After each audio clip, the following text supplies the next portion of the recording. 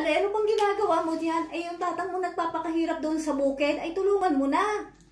Eh, kailangan ko pa dito magpapahinga eh. Pagpahinga, eh, ilang, nakaisang oras ka na sa kapapahinga. Eh, yung tatang mo pagod na pagod doon. Eh, alam mo naman, mami ko, eh, meron pa akong hinihintay Ay, huwag ka eh. pa mami-mami dyan. Ay, sa pagkakataong ito, ay kailangan ko matutong kumilos ang mga kabataan. Ayoko nga, kasi meron pa akong Ay, hinihintay. pasisyon tayo. Ay, nasa probinsya naman tayo. Ay, hindi bagay yan din eh.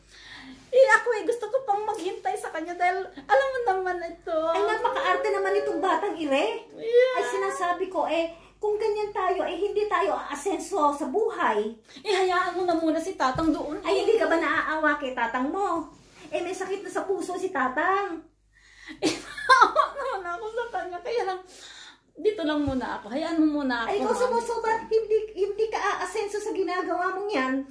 Naku naman, mami ko. Maawa ka naman po sa akin. Kanina pa ako nandun Ay, sa labas eh. Dito muna ako sa loob. Ay, ang pinagtatako ako, bakit nalipat sa akin ang kalo? Ay, bakit, anong ginawa mo? Ay, nag-magic-magic ka na naman. Ikaw, ginamit mo na naman yung kapangyarihan mo.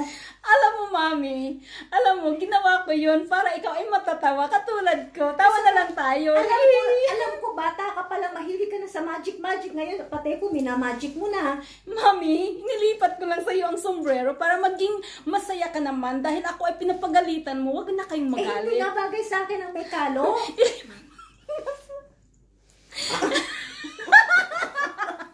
Halika na, ililipat. Ililipat mo yan sa Ako na, bakit nasa iyo? Eh, kasi sabi ko, ilipat mo na yan sa akin. O kaya di lumipat na siya Ako eh. minamagic mo talaga. Eh, bakit napunta naman sa iyo ang kalo? Di ba Oo. sabi ko sa'yo kanina, ililipat ko sa'yo. Para maging masaya ka naman. Nagluloko mo.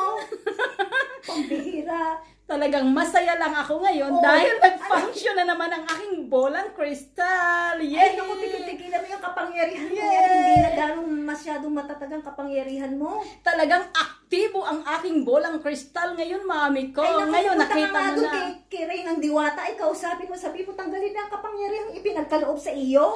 Mami naman, huwag naman kayong ganyan sa akin at sana suportahan mo na Ay, lang ako. pati ako sinasama niyo sa kalokohan ng Diwata, Ray ng Diwata niyo yan. Alam mo, mami, alam mo, sa totoo lang talaga, pinasaya lang kita ngayon. Gusto mo ilipat kong sombrero ko para sa iyo ngayon Sige din? nga, gawin mo, paano tingnan ko? Oh, napat pa. Yes, mami! Nag-function na naman yung aking bolang crystal! Ay, Yay! masabi pa sa kapangyarihan mo, eh, mana-mana mami. ka talaga sa iyong tatang. Mama, oo talaga, mami. Nagmana talaga ako kay tatang. Kaya hayaan mo na si tatang doon sa kanyang trabaho at tayo dito mag